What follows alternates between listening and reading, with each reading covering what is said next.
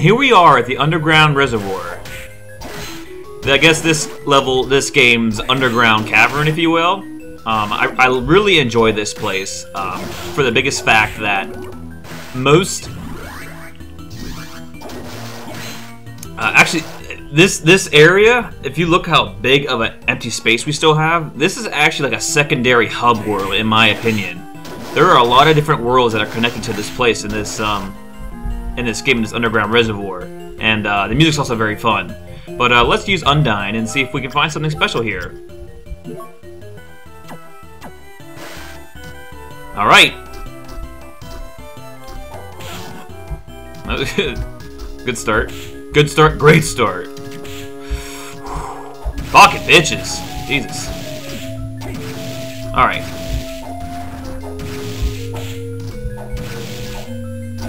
And what do we get?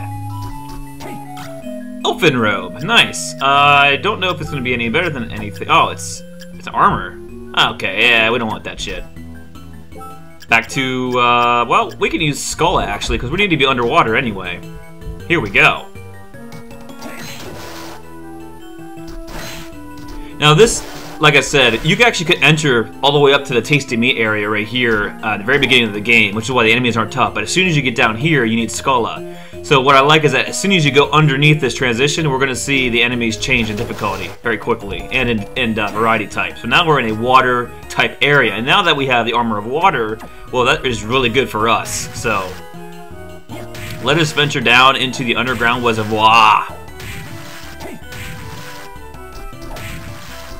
reservoir. I really like this area um, due to the fact that it has kind of like, I don't know, MC Escher looking type of backgrounds and stuff. And like, look at these enemies. We got a man-eater, a lot different than the uh, plant-like creature we usually fight. And uh, I don't know why the frame rate is horrendous underwater. Jesus Christ, it's almost, it's just ridiculous about. Oh, God, man. Oh, Jesus. Hope it's not like the entire reservoir. It's gonna be kind of hard to play. I hate that kind of ruins the experience a little bit, but sometimes you can't really uh, help that.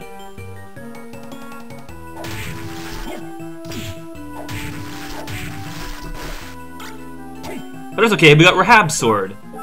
An ice type? Okay, cool, an ice, uh... Yeah, nice, an ice sword. Except the problem with the ice sword is that uh, we're in a water type area, so obviously ice is going to be kind of weak against these enemies. At least I would think so. I'm probably wrong, but um, Maybe it's just Man-Eater. Man-Eater. We'll call it Slow Eater. You're now called Slow Eater. oh well.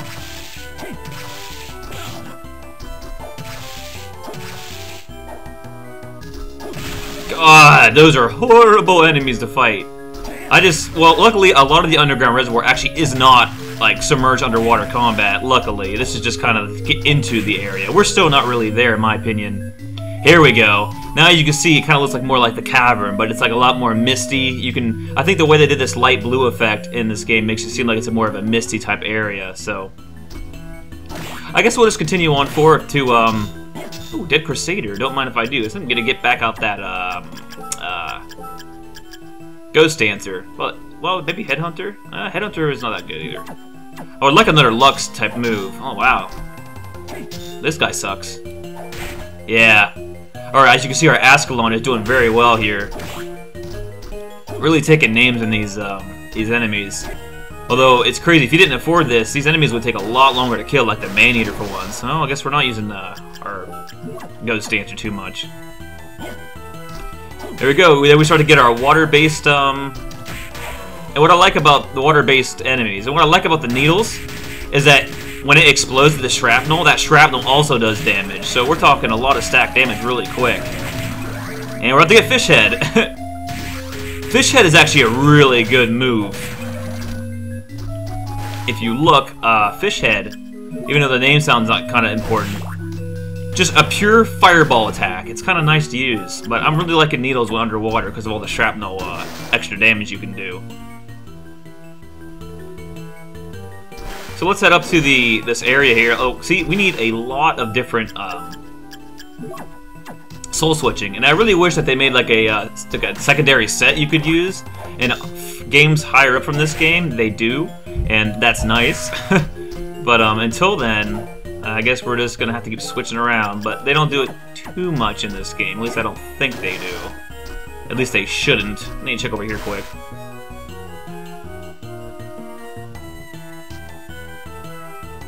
Ooh, nice. Super Potion. That's full hit points. Very nice. His needles work so beautifully under here. That's why I'm happy I got them uh, when I did in the Clock Tower. That's a nice preemptive uh, soul to have in here. But yeah, like I said, the, the, way that the environment, the varying environments in this game, as you can see, like the Clock Tower, I guess isn't that large of an area, and they're not gigantic areas, but you just feel like you don't need a second castle by the time you're done with this, this game. And like I said, even though we really don't have the super much amount of areas left. There's still plenty of areas to go around, and like I said, the underground reservoir has so many different areas connecting to it. Um, oh, I guess actually it only has like two areas connecting to it, but still, it seems like a lot, and, it, and it's a very gigantic area. Yeah, I think it's just that room, that man-eater wants to slow down everything. Well, that's uh, good to know. I'm always afraid about that when I play the DS games, there's going to be some immense slowdown, because DS emulation is still not perfect, and uh, can be pretty bad, but I appreciate the fact that I can play DS on my computer. And I own all the Castlevania DS games, so uh, I find it morally okay to do. Not that I wouldn't do it anyway. well, DS maybe, I don't know. But that's neither there. Oh, shit. Okay. It'd be nice if we could, we could swim up that. I don't know if we can swim up that waterfall or not. I like this way this waterfall looks, though. There's not that many like that in the game. And then we got these spawning boat areas which I get is start to get a little weird, um, a little bit strange. But um, I'd rather continue a little bit further to the right before I um, explore this area too much further. Okay. There we go, got a little uh, nice little uh, new enemy. And they poisoned me with a little slime attack, jerk. If we don't have a save point soon, I'm gonna have to force myself to Use one of my, uh, precious potions pretty pretty soon, actually. not gonna die, that's for damn sure. I just thought maybe I'd run into a save point at some point here. Nope. Oh, you don't hurt anymore. But yeah, like I said, I'm not sure what everything does, what actually does water damage in this game, but uh, hey, killer fish. I think something appears here later, later, but it's also a really easy way to get a uh, killer fish um, soul in this game. Right there. Okay, I'm cutting it close. Let's, uh, better use a potion. Just one's good enough. There you go. I got these spawning oons. A little annoying. Get out of here! Jesus. You're slowing my game down, man. Alright. Oh, I have, I have, uh, there's like, uh, I don't know, like some sort of like kids. There's a lot of kids upstairs, and I, I think our neighbor has some sort of like pseudo daycare. I think they're dealing drugs to be honest, but some sort of pseudo daycare. Oh, nice. And um, they bring up kids up there, and I swear, whoa, uh, those kids stomp around on the upper floor and they just shake everything and make all these stud sounds. That's what the stud sounds you might hear. I just want to bring that up. I can't really do anything about it. Um, I personally uh, detest and loathe those children up there. Not all children, but those children. Bastards. Alright. anyway. I wanted to say that. I feel better that I said that. Um, not to explain the noise, but just my to, to publicly explain my detest. Now look at that thing shooting by. Maybe if we have some sort of way to slow down time, we can catch that. But for now, oh look, it's the next boss. So we fought almost all of the regular enemy bosses, the bosses that are reoccurring. So any boss that doesn't give your soul pretty much can uh, reoccur. It's pretty cool. Let's try the slime ball, see how that works. I think that's actually a pretty good move. I can't remember, though. Oh, yeah! Oh my gosh, it bounces and rebounds. It's like a rebound stone, and it stacks. Yikes, that's beautiful. And uh, as you can see, that was kind of like the introduction to a new cavish, caver cavernous area. And we got another chance for disc armor. Very nice. And not so. But um, I think before we go too far in this really beautiful luminous cavern the way that it should have been with little ice and uh, actual luminous looking background. We're gonna head back up to that place where that boat was being spawned because we want to go do far down in here until uh, until then. So yeah. Alright, we're back to the materializing boats, and uh, this is not a Charon type uh, river ride. This is a underground reservoir river, river ride, so. A little bit of a gimmick here, but if we're fast enough, we can try to make up to these platforms, although I don't think this one's as important. Nope. But I think there's a, a chance to get something special if you ride the boat uh, at the right trajectory and get somewhere. So like I said, so first we got the kind of like the luminous cavern area, then we got like this kind of like underground aqueduct looking place. So they kind of like hit both places instead of just doing, uh, you know, all separate areas. It's just one big underground reservoir. So, um, and keep in mind that we're always we're always levitating, suspended in this um, solar eclipse. So it's actually kind of cool to think about too. Oh, look at that, a new sword. And it looks like we need to do a boat ride to get there. So uh, let's do just that. At any point you want to materialize, Mr. Boat, I would appreciate it.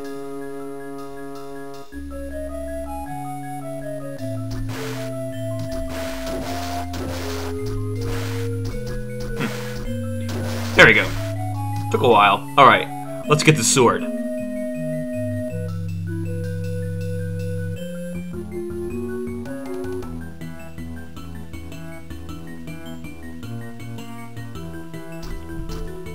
Ah, I think we're gonna need flying armor for this.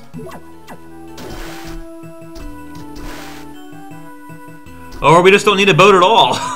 okay, that works. Actually, I don't know if we still can get this thing. We're gonna have to really try. Hiya! Hiya! And we got it. Milican Sword. A sword that can turn enemies into stone. Another cool uh, bastard sword size weapon, but just can't beat the dragon slaying Ascalon just yet. Oh, hello. There's cool looking enemies here, but um, it looks like if we go left one more room, we would lead to a connector that would lead us back to the beginning of the game where we got the flying armor. And so that's actually another way to enter the reservoir. So there's actually two different points of entry when you first enter. Nice! summon nightmares to use as weapon. And it's not nightmares as, as, in a bad dream. We're talking about the physical nightmare horse. That is a sweet, sweet weapon. I like it. It's even better than the slime ball now. Look at all these different type of golems. That's kind of like the way they do different armors. They don't they don't go as crazy with this, with like the armor types. I think that was kind of like an excuse just to do palette swap, especially in Circle of the Moon standpoint. But uh, this is fun. I like having this uh, demonic aura death horse. Here we go. This is what I was remembering. Alright, let's see if we can do it. We've got flying armor to help us out. Oh, wait. Okay. Come on. Oh, shit. Oh, I missed it. Damn it. Well, we'll try again later. Until then. Oh, 278 damage! This has to be doing fire damage, something that they're uh, weak against, because that is fantastic. And look at that! A handgun! And it looks like, by the way the background is, and I like how they do two different backgrounds in the same area. That's actually pretty impressive how they did that. Um, well, at least in terms of Castlevania standpoint. So it looks like we need to, we need to uh, come in from the cave area to get that. So this is just a dead end unless we can make this boat ride. So let's try that again. All right. Hooah! Gotcha. What do we got? Oh, back in here. Oops. Oh my god! Nightmare, you're amazing! And we find another area of the Luminous Cavern um, variety.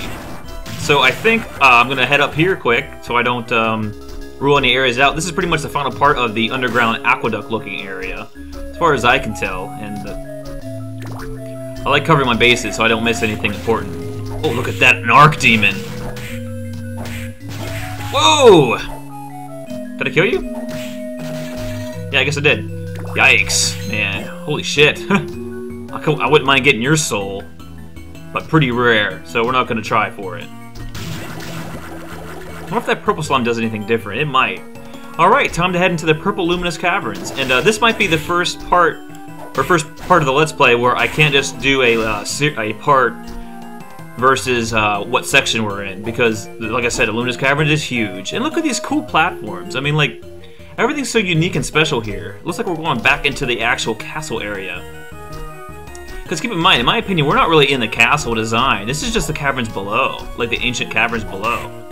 Oh, look at this. A book. Summoning Tome? Ancient Book 3. So there's there's there's been two ones before it, apparently. Well, what's the Ancient Book say?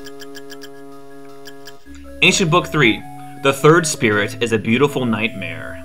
I have a nightmare, and it's beautiful in my eyes, although I don't think it's the nightmare they're talking about. The third spirit. I'm Not really sure what that means just yet, but maybe if we find the other two, it will uh, make sense. So until then, we'll keep that in mind. Nightmare! oh my gosh, that does so much damage. That's so nice. What we got here? Another present for us. This is like a dead end again.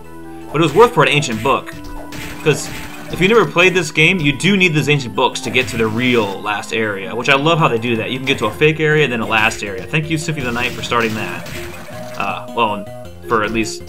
No breakable wall? Wow, that really looks like it. For starting that trend, Symphony of the Night. I appreciate it. Get out of here. 8 damage. Piss off. Man, this place is huge. I told you. I told you, man.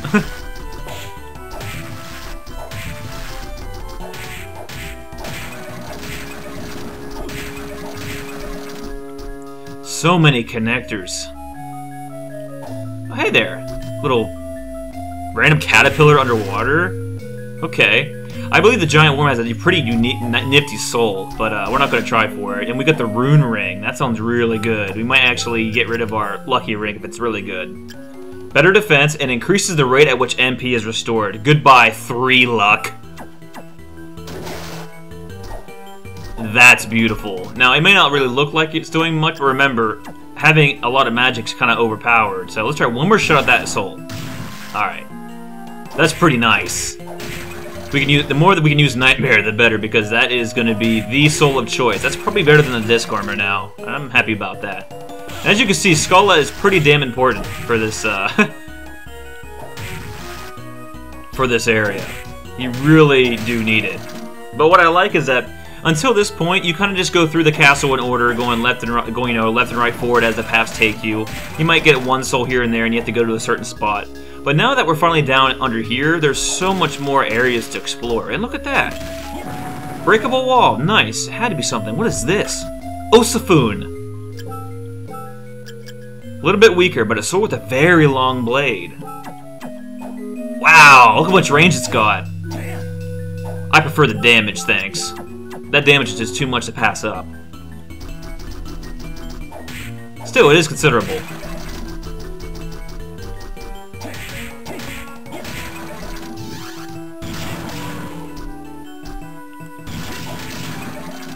thanks, thanks, Fishhead.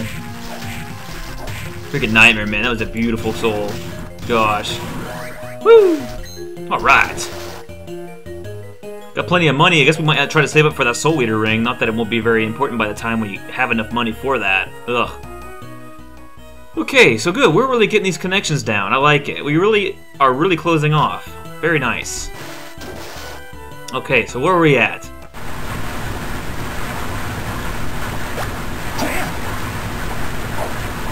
Like we're at the uh, head of a waterfall. Uh, we got a super potion as a reward, but it's weird that this little area that there's no music. It must be kind of a special place. We'll have to loop around. So I guess uh, I'll fill in that one little connector map to make sure that's where it leads. And then we're going to start back to where we started here uh, by that save point.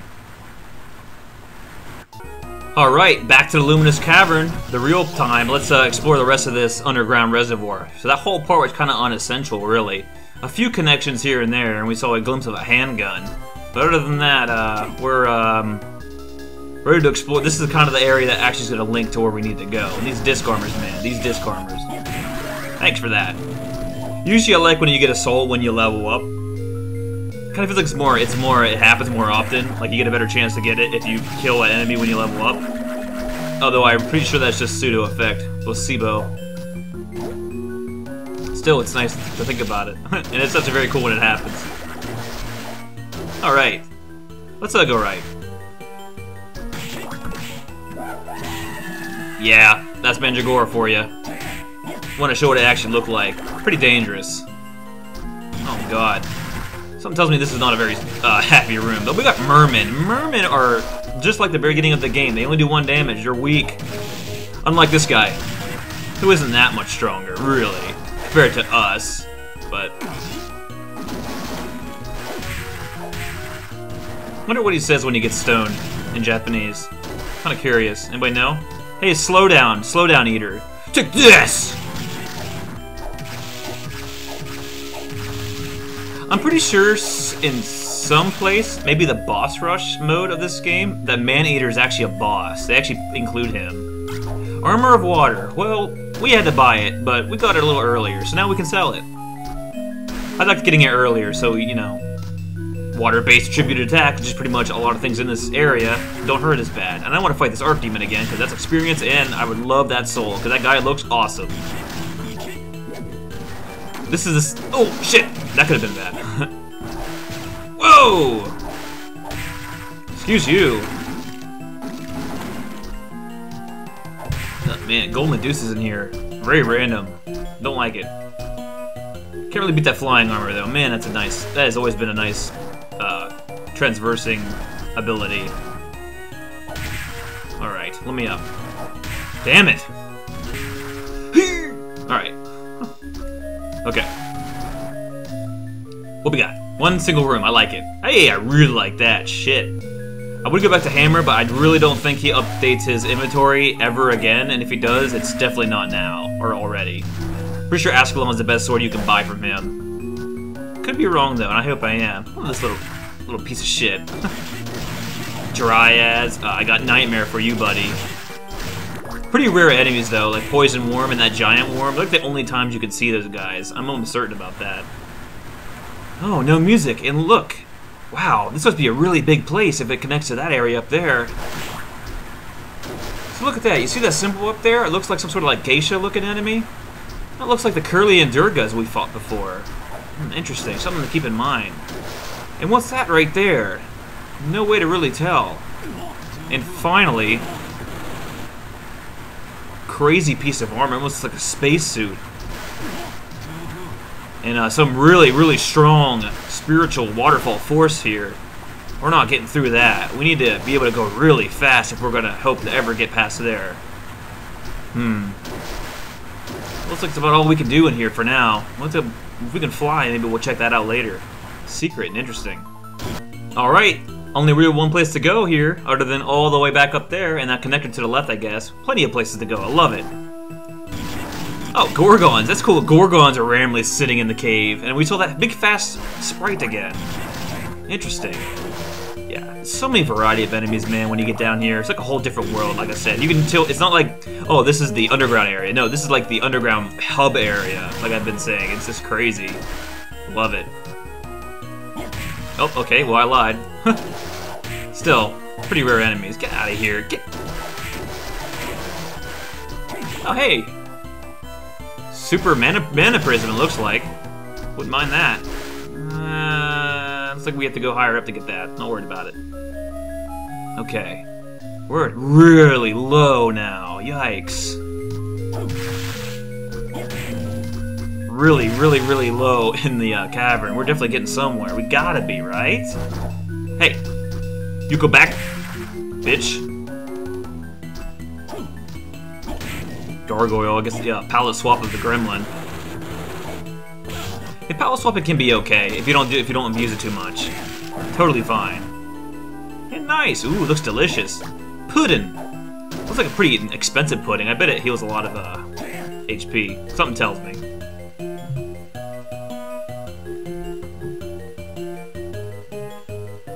The underground cemetery, a sub-area of this area. Interesting. We're definitely getting somewhere. Look how freaking...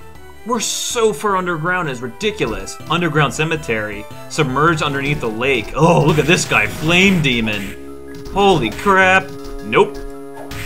Nice! First hit! Burns enemies to a crisp with ultra hot flames. Flame Demon. Beautiful. Let's see what we got. Ooh. Doesn't that look kind of familiar? Sort of like Dracula's Hellfire? Pretty damn similar, man. I'm thinking I'm gonna try to this instead. Although that nightmare is hard to beat, though. Look at this, man. Where are we headed to? Alright. Something tells me we're going to a uh, much special, more unholy place, so let's venture forth.